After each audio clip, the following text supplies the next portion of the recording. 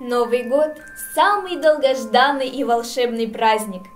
Время новогодних подарков – это время красивой, доброй сказки, которая приходит в каждый дом в конце каждого года.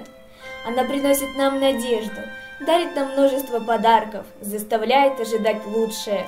В это время мы начинаем чувствовать себя героями этой сказки – ни один Новый год в нашем Калининском Доме культуры не обходился без новогоднего спектакля.